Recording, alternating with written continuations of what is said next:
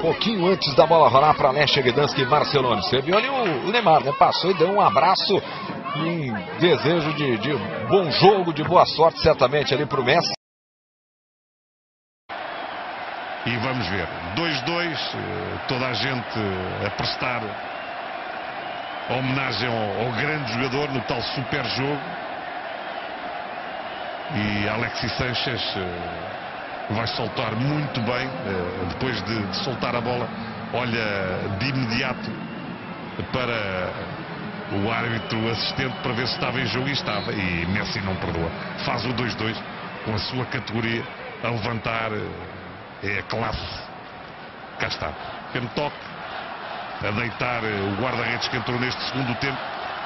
Sebastian Malkowski. Ter, julgo que vai ser Alexis Sanchez a sair, é isso mesmo.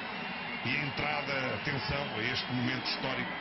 A estreia de Neymar pela equipa do Barcelona. Vamos ver se a partir deste minuto 79, com a estreia em Gdansk, na zona do Báltico, norte da Polónia. Vamos ver se Neymar.